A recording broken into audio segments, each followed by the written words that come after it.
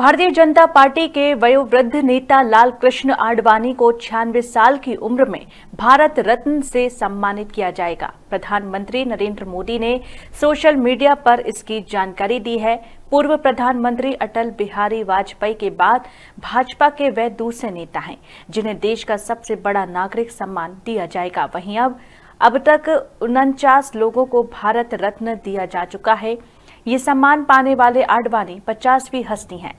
वहीं नरेंद्र मोदी ने social media पर आडवाणी के साथ अपनी दो तस्वीरें शेयर की और बधाई दी। उन्होंने लिखा कि मुझे ये बताते हुए बहुत खुशी हो रही है कि लाल कृष्ण आडवाणी को भारत रत्न से सम्मानित किया जाएगा।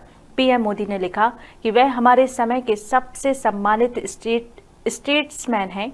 देश के विकास के लिए उनका योगदान कोई भूल नहीं सकता। उन्होंने जमीनी स्तर से काम शुरू किया था और वे देश के उप प्रधानमंत्री पद तक पहुँचे। वे देश के गृह मंत्री और सूचना प्रसारण मंत्री भी रहे। उनकी संसदीय कार्यशैली हमेशा अनुकरणीय रहेगी। उन्हें भारत रत्न से सम्मानित किया जाना मेरे लिए बहुत भावुक क्षण है। मैं इसे हमेशा अपने अपना सौभाग्य मानूँगा कि मुझे उनके साथ बातचीत करने और उनसे सीखने के अनगिनत मौके मिले।